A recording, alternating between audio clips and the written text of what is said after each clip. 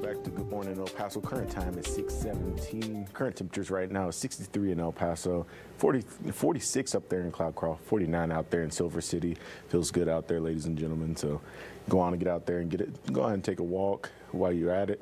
But onto Doppler radar, looking at a couple showers. One, one up there just north of Las Cruces, and then we go on and zoom in right now. We're looking at these couple of showers over here just south of Columbus, just below the U.S.-Mexico border, and we're going to go on and look at that one up there just to the north of Las Cruces, dropping a little bit of rain, but we're probably not going to see much here. But heading out tomorrow, by 7 a.m. tomorrow, we will see 62 degrees, and then by the time that we hit ABC 7 at noon, it will be 82 degrees. Little blustery out there, little breezy out there. And then by the time that you get the ABC 7 at 5, it will be a little windy, ladies and gentlemen.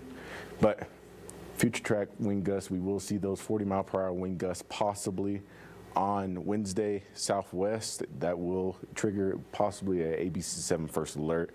Then by Thursday, that ABC 7 first alert will be able to be dropped with a 35 mile per hour wind gust out of the west. And then by Friday and Saturday, we will see those winds taper off. And then that's when the cooler air will come into the area. But for today, got storms and sh showers and thunderstorms out to the east of us. And we will see, we won't see much in the El Paso and Las Cruces area, but for Culberson and Hudspeth counties, there will be more action. And then by 5 o'clock, we will see those showers and thunderstorms go on and blow up just a little bit more, and they will go on and clear out by the time that you get the ABC 7 at 10 tonight.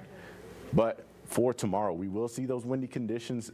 Those windy conditions will come out of the southwest, and it will be very windy outside. But by the time that we get to Thursday, those winds will taper off just a tad bit. But here comes that cold front, correction, cool front, and it will keep us a little bit cooler, more fall-like temperatures by the weekend. When you get to your high school football games, it will be a little bit cooler, so bring those blankets and some hoodies if you want to stay warm.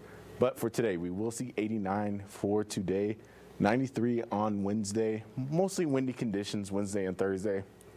Winds taper off by Friday, and it will cool down as well. We will see 56 by Friday night, and then by Saturday and Sunday, we will see those highs top out at 80 degrees.